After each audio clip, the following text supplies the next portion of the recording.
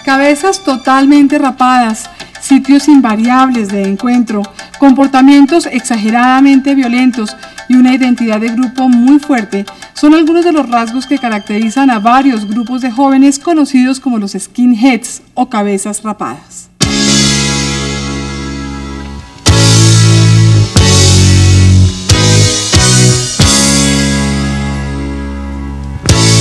Los skinheads, cabezas rapadas, un grupo de jóvenes cuyas edades oscilan entre los 16 y los 28 años, vienen siendo noticia en Colombia desde hace algún tiempo.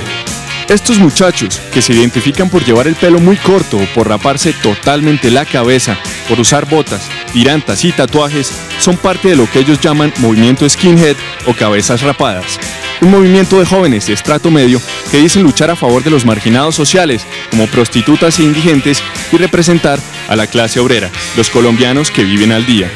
Mientras que en el mundo se les asocia con tendencias nazis, de limpieza social y racial. ¿Son los skinheads un movimiento neonazi? No, absolutamente no. los skinheads cuando se formaron, como mencionaron, eran blancos y negros durante todo el tiempo los skinheads desde los finales de los 60 se mantuvieron juntos.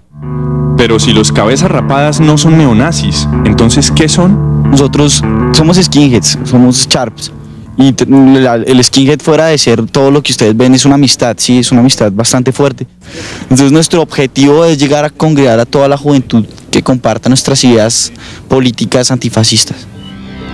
De manera sorprendente, los grupos de cabezas rapadas son grupos antifascistas y antidiscriminación racial, pero pese a la posible nobleza de sus intereses, estos grupos pueden llegar a ser violentos en algunos casos. Tomamos la decisión de, utilizar la violencia solamente en casos estrictamente necesarios. Cuando digamos, cuando tengamos algún enfrentamiento con un neonazi o con alguien que difiera de nuestra ideología, tratar de hacerlo más que todo con ideas y no con violencia, que la violencia no lleva a nada. Pero cuando les toca utilizar la violencia en esos casos extremos, ustedes utilizan puños, utilizan bates, utilizan palos, ¿qué utilizan? Generalmente nosotros utilizamos nuestro propio cuerpo, que es la única forma que podemos tener para protegernos, porque nosotros nunca cargamos armas. Si bien es cierto que grupos xenofóbicos, que se hacían llamar CRAE, grupos rapados anti-extranjeros, llevaban la indumentaria propia de los skinheads, estos no son considerados parte del movimiento, o por lo menos así lo manifestaron estos jóvenes. Se denominan skinheads, pero realmente nosotros los denominamos cabezas huecas, cabezas huecas porque de skinheads no tienen nada. Pero independientemente de las tendencias ideológicas de los cabezas rapadas, su atuendo y comportamiento revelan un fenómeno de búsqueda de identidad, una identidad importada. Todo esto se hace posible por la relativa globalización eh, del mundo y Colombia se ha metido en ese, en ese negocio, por un lado.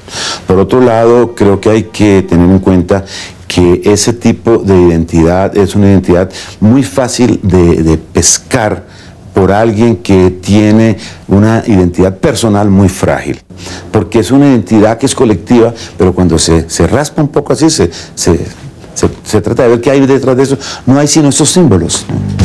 Los cabezas rapadas son conscientes de las críticas de las que son blanco. ¿Por qué se identifican ustedes con atuendos y apariencias extranjeras? El skin no tiene que ser simplemente Alemania, solamente de Inglaterra, de España. El skin puede nacer acá en Colombia, en Ecuador, en Bolivia, donde la, digamos, la, la, costumbre de las calles forman a los chicos así. ¿Qué tienen que decir ustedes cuando les dicen que ustedes no, no tienen una personalidad propia individual, sino que tienen que recurrir a una personalidad gregaria colectiva? Pues ese cuento ya ha venido desde todo el mundo uno lo critica por eso, ¿sí?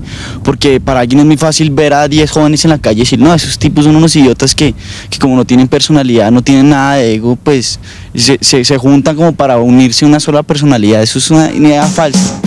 Más como una banda de adolescentes en busca de identidad que como un grupo de militantes con algún esbozo de ideología política, los skinheads son parte hoy de las llamadas tribus urbanas y del entorno de nuestra ciudad.